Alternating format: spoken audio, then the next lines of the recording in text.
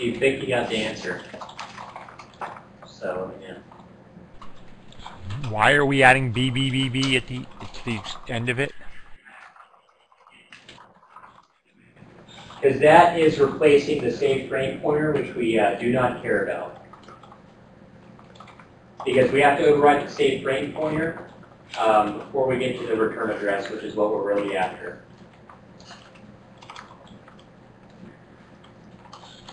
That answer your question? Yeah, I'm just trying to remember the, uh, what's the safe frame buffer again? Pointer. The safe frame pointer is, um, yeah, the save frame pointer is basically used by the, uh, the main function, what called, you know, Mhm. the function that we're overflowing. And then EVP is used to um, reference your local variables and stuff like that. So whenever you call another function and have a new set of local variables, you have to save the, uh, the previous save frame pointer. That way when you return into that function again, later on, you can uh, restore the frame pointer and keep on using those local variables.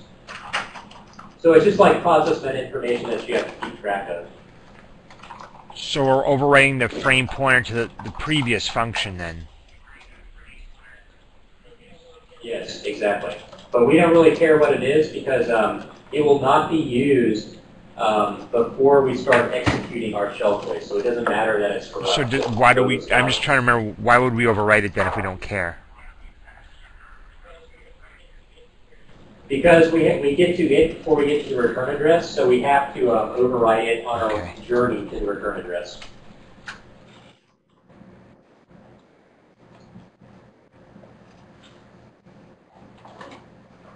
Yep. All right, um, what we got? Zero eight zero four eight two nine Bravo.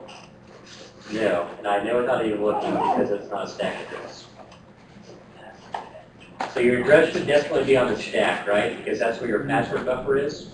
So your address should be something like OSBFFF, something, something, something.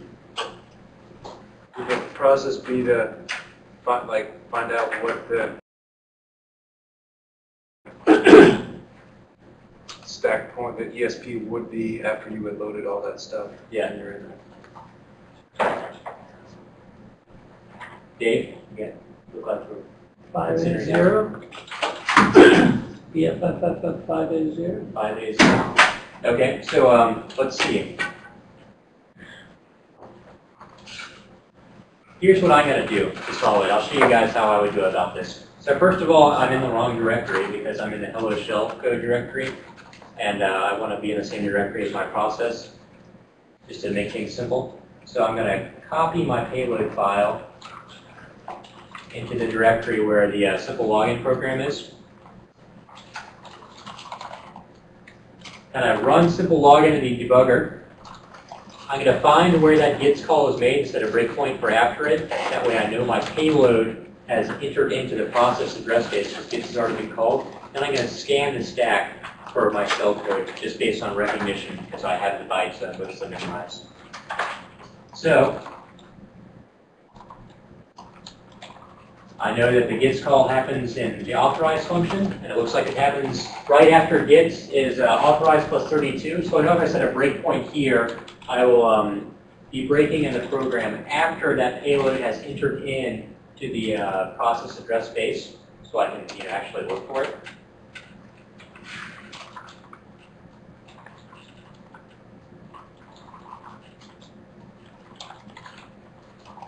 Run the program with my payload. That way I can look for my payload in the, uh, the process address space on the stack. I'm just going to use that x slash s command or x slash 20x. 20 is arbitrary. I'm just sort of randomly picking a number here. Um, starting at ESP. I'm using ESP as a reference point because I know ESP is pointing at the stack that my uh, my payload is somewhere on the stack because um, my payload is in a local variable and local variables are on the stack. So x slash 20x ESP. And um, that looks familiar, right? So what was your answer, Dave? Wrong. Five eight zero. How did you arrive at your answer? I actually saw a breakpoint at the, uh, I think the return, just to see what the stack looked like right before I left. I. Okay. Yeah, it's possible something happened. stuff got messed around instead. Yeah, yeah, yeah. So, uh, so it's probably a better strategy just to set the breakpoint for right after your payload comes into the process, just so things, uh, you know, haven't had as much time to change. So, using this method, I can see that, have a question? Oh, I'm sorry. If uh, I used any one of these as my return address, I would be all good in the hood because it would execute these no ops, no ops, no ops, no ops, blah, blah, blah, blah, blah, then hit the first byte of my shellcode, and then everything would happen, uh, happen nicely. Uh, another handy way to look for your payload as well is the x slash i instruction, which will try to interpret data on the stack as instructions. That way, when you start seeing your shellcode instructions develop, it's kind of a little bit easier to recognize them unless you, uh, you know, can recognize your shellcode just based on the byte pattern. So for instance,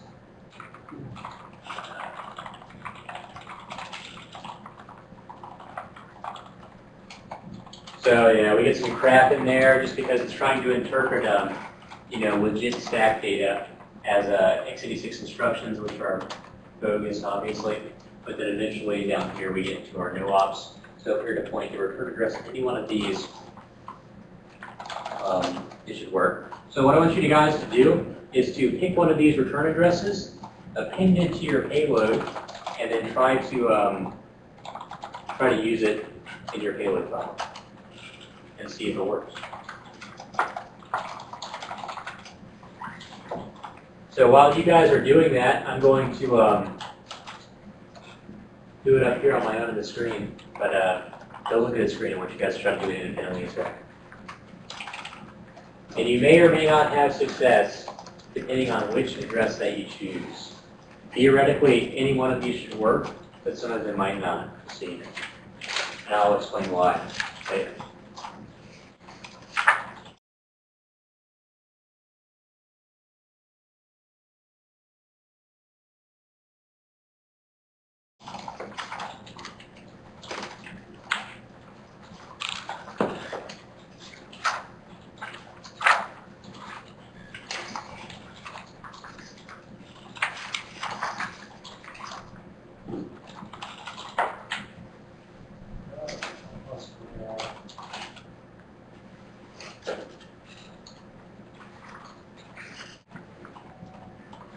Payload that you ran in the GDB there, is that the shellcode that we put together?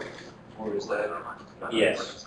But does it include the, did you put a buffer for what would be the return address that you're looking for? Does that add four more bytes to it? I hadn't set that up yet. So uh, the last thing I wrote in my payload was the BBBBB, so there's still room for return address. So you can see my payload file now is BBBBB, is a safe frame pointer. Then this should be the return address, and this is BFFF573, which is this last, this last uh, no op that I see here.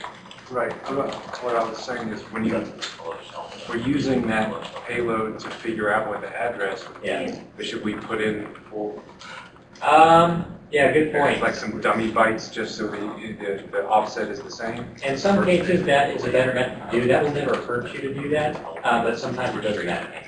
In this case, it doesn't matter. In some cases, it will be. Because sometimes the addresses will change a little bit depending on how big your payload is. So if you're trying to define your addresses based on a 68 byte payload, and then go and finalize your payload to 72 bytes, then all your addresses are a little bit off, and your payload crashes because um, you based all your addresses off of a 68 byte payload, things are a little bit different. In this case, it doesn't. But having all the no ops helps stuff, right? Yes, yes, it does.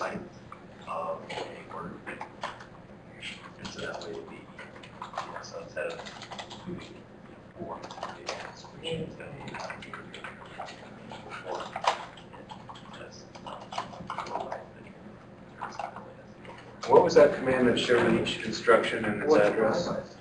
One at the top of the X slash 10 I or 20 I, that's an arbitrary number, it's like how many instructions, and then ESP, dollar, dollar sign ESP, and then on. I broke an authorized specification because it was right after the GIDS call, so I knew that my payload would have already uh, entered into the stack at that point. If I had broken before that, my payload wouldn't have been on the stack because the GIDS call would have been made. The GIDS call would not have been made yet. The GIDS call is what's reading in our password attempt, which is where the payload is coming from. Technically, you could just um, root to ESP and then try to use like ESP plus some offset as your return address, but it helps to see the actual payload bytes when you're doing this. So it's about time for lunch. I'm curious if you guys would rather me show you what the next lab is going to be so you can think about it or work on it over the lunch break, or would you, you'd rather just have, you know, ignorant bliss about what the next uh, round of torture will be? Totally up to you. Just let me know what you guys want. How long will it take? Um, I'm probably gonna give you guys like thirty minutes to an hour on your own. I won't really be walking you through that one, try to get it in How long, how long will it take you to explain it? five minutes. I say go ahead. Go ahead. Okay, all right. Motivated, I like that. So, uh, for those of you still working on the, uh, the Hello World shellcode, getting it to work, yeah, that's okay. I'm just kind of, for those of you already done, and I want to think about this over lunch, I want to show you this lab. And the next lab is going to basically be developing real weaponized shellcode that we can use, because uh, this Hello World example is obviously a toy example. So I want you guys to develop something a little bit more uh, realistic that you can use. And so the shellcode we're going to develop is going to spawn a shell, execve slash bin slash sh. That way, if um, you know we are exploiting some uh, local Linux root application, you know something that was like doing some sort of service or process, instead of it doing its normal functionality, it would spawn us a shell, and we could use that shell to have root privileges. So we're going to be developing something like that.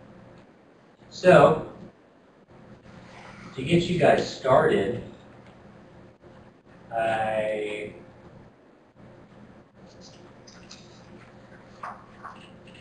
yeah. You're going to be turning this into shellcode via the same process that I showed you with the Hello World shellcode. Um, and I'm actually going to simplify this for you a little bit more, just to make your life easier.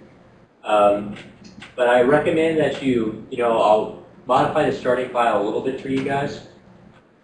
And I recommend you flip back over the Hello World shellcode slides and see how I did that.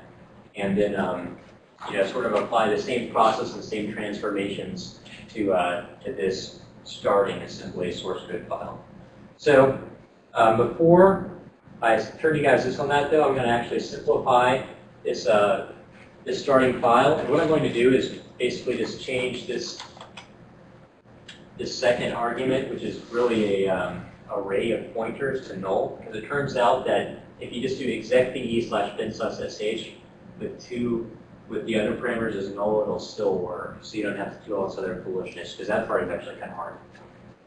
Um, if you feel super brave, your field, you know, you can certainly try to transform that um, into shellcode, but I recommend you just try the easier one first, because it still works perfectly fine.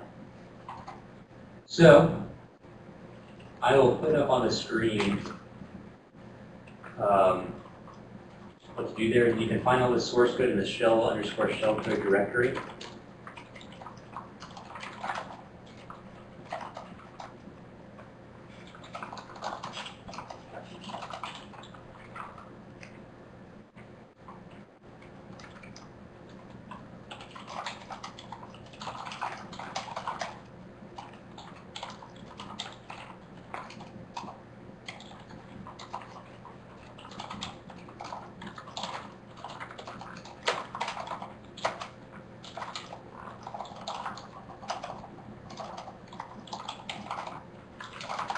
Okay. So yeah, that, that is what I want you guys to try to turn into shellcode.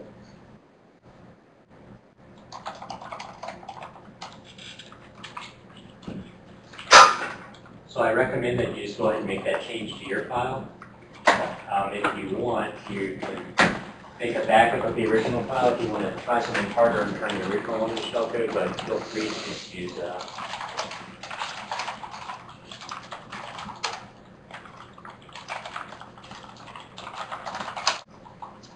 There's some obvious issues you'll face with this, um, are, you know, null bytes, pointer to a string here, that's gonna be, a- come out to be an absolute address, you'll have to deal with that. There's some other mystery issues that I'm not gonna tell you about, because I want you to discover them on your own. Um, So yeah, want you to to turn that into shellcode. If you want, if you're feeling really brave too, and you get this done really quickly, you're welcome to try to convert this into like a Perl script, like with Hello World shellcode, and then use it to exploit the uh, simple login program. But I'm not going to ask you guys to do that as part of the lab, I should take if you want to try that. Um, you will be using your shellcode on another program, but not simple login. I haven't shown you the other program, so if you finish your shellcode before lunch is over, go ahead and start trying to attack simple login with this.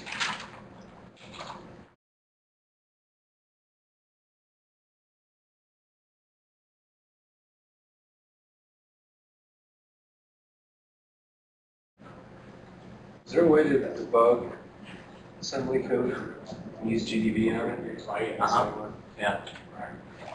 If you just use GDB and, um, Do I need to compile it, uh, the ASM with a certain flag? yeah, you might have to use it, I think it's like a G flag or something, when it's,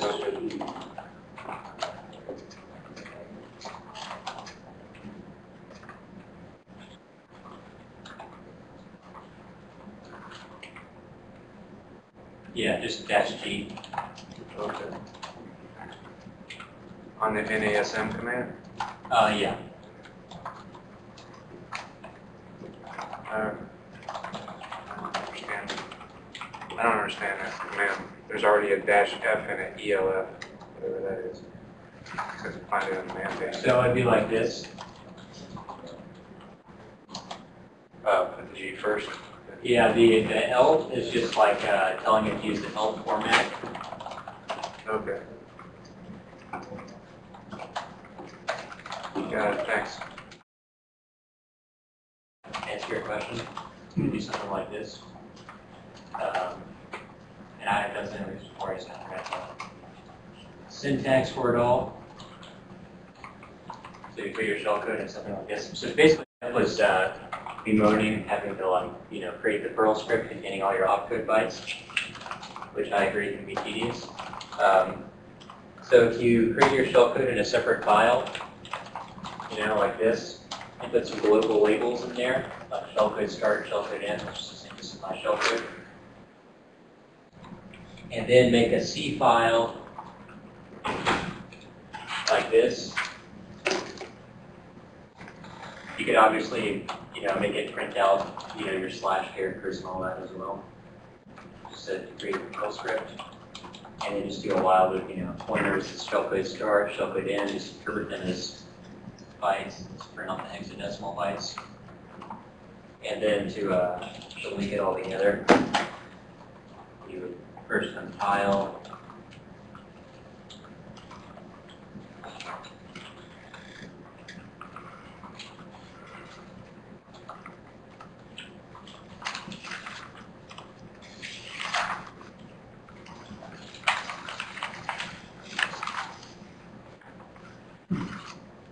But um, for most you, I want you to just do it by hand.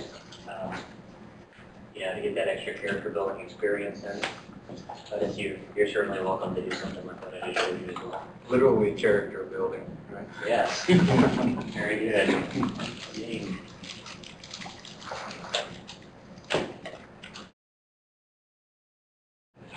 So I'm curious, what are some um, unique problems that people have run into when developing um, the Hello or the uh, the shell slash bin slash shell code?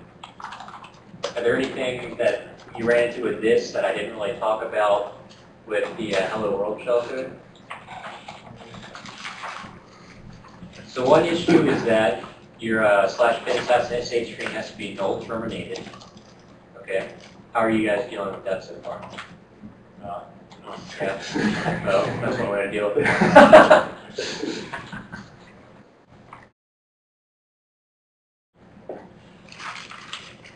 So one of the real annoying things about this lab is trying to get that slash bin slash sh string into the stack and have it all ordered correctly and null terminated.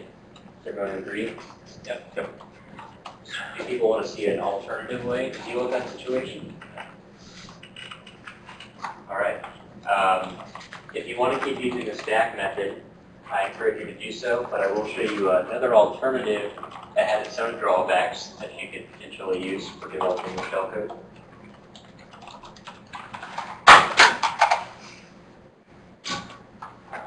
uh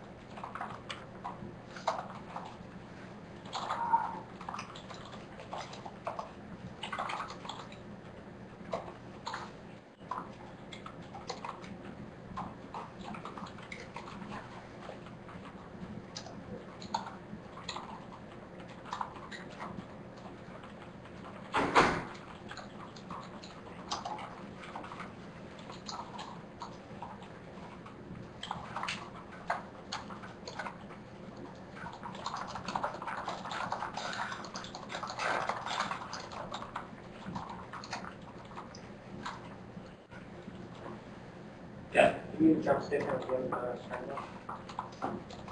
the. No, I do not.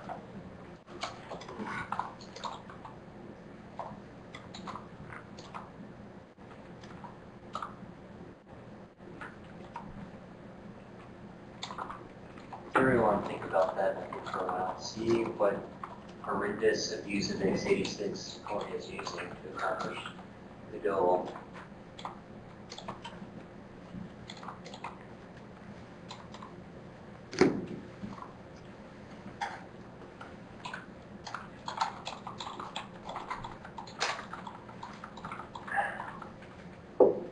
So what's happening here is coming along, set EAX to 11, I guess I should do AL 11, whatever.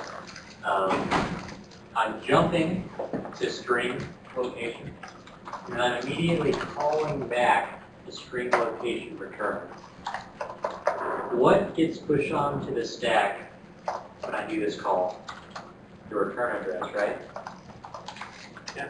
And at this point, the return address points to this, these bytes that I just told the assembler to emit. But I never return back to this code, because I call and I just pop the return address off the stack into my register. EBX supposed to point to the pointer to the string. Then I null terminate the string by taking the address of the string plus seven, plus zero, plus one, plus two, plus three, plus four, plus five, plus six, plus seven, I just put a placeholder value there for null.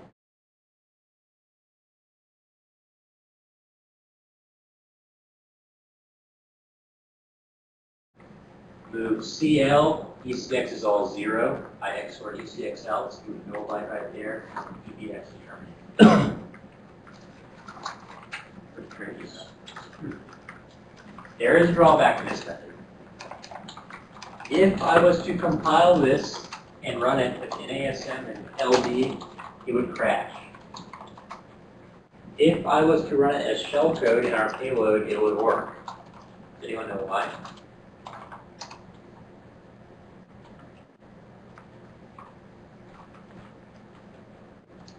Think all that's happening with this line right here.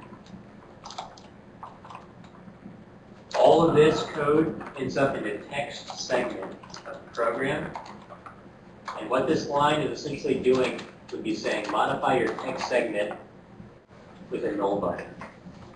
If you try to modify your own code as it's running, you're going to cause a segmentation fault because your uh, code is marked read-only when your program is executing. So this is trying to modify read-only memory with um, a null byte when it's trying to you know, the string, and that's going to cause segmentation fault. Why would this work if we used it in an exploit, in a payload? You don't have any idea? Where would this be located, be running, if we use it in a payload? If we use it to exploit something like simple logic?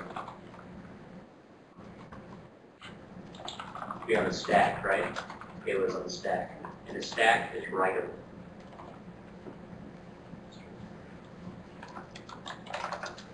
So, this works nicely, except it's a little bit more of a pain to test out.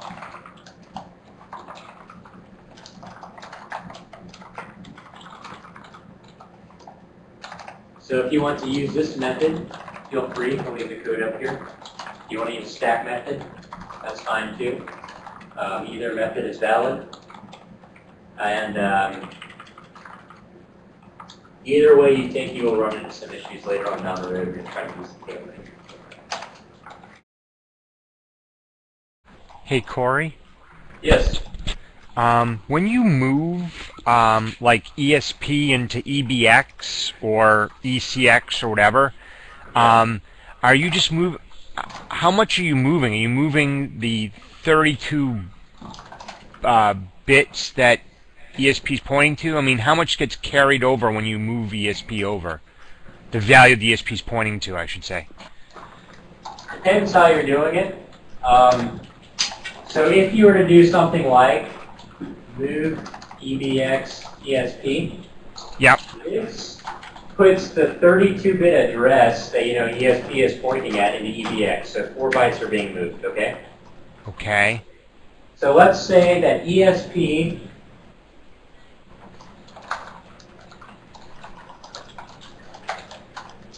Let's say that ESP points to that, okay? Okay.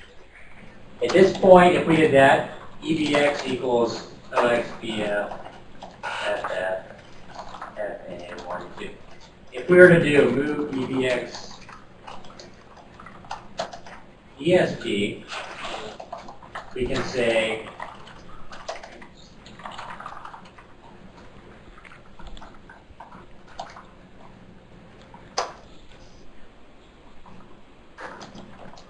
Yeah.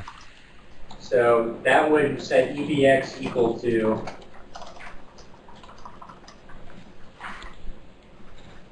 all right. Yep. If you were to do, say you're trying to null terminate your string or something like that, Yeah. let's say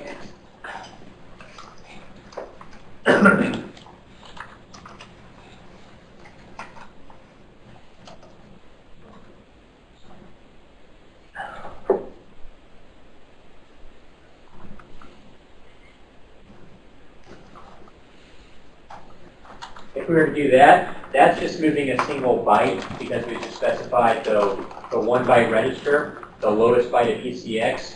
So in this case, assuming ESP, you know, the value, the data at ESP is that, we would get something like, um,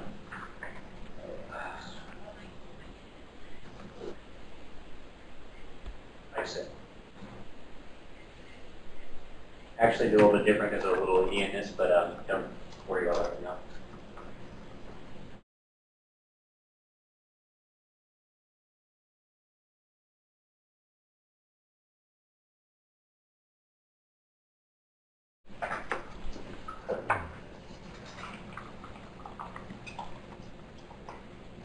I think what you can do, I know this works with uh, YASM and maybe with the NetWide assembler, is if you want to move a single byte, uh, like explicitly do a single byte, you could do like move EBX byte.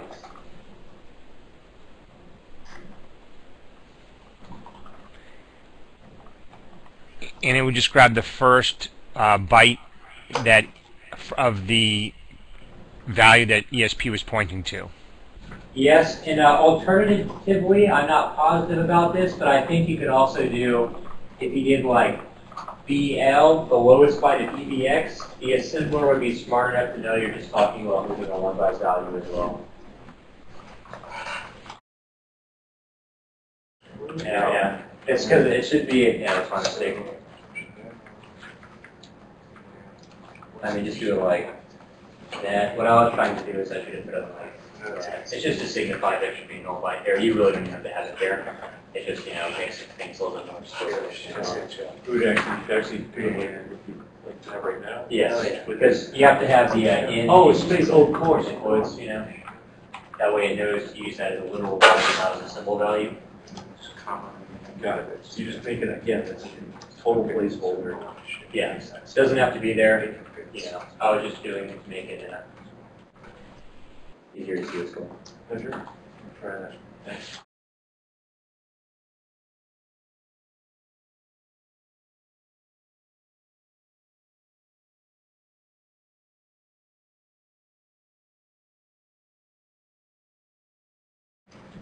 So it's like harness and do it like this, okay?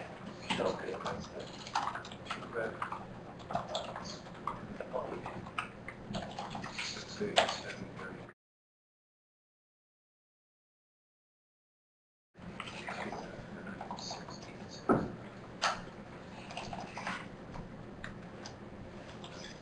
for instance, if I wanted to use the, uh, the hello world shellcode,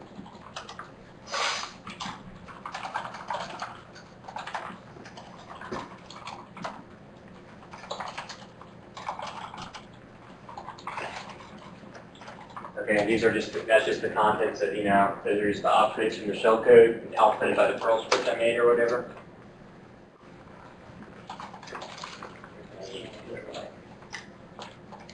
Harness.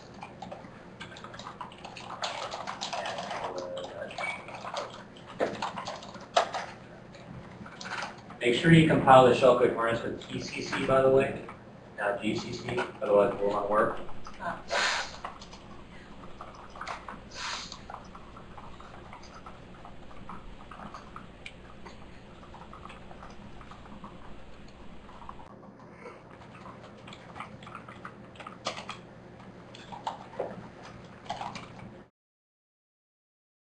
Uh, so Corey, Yes.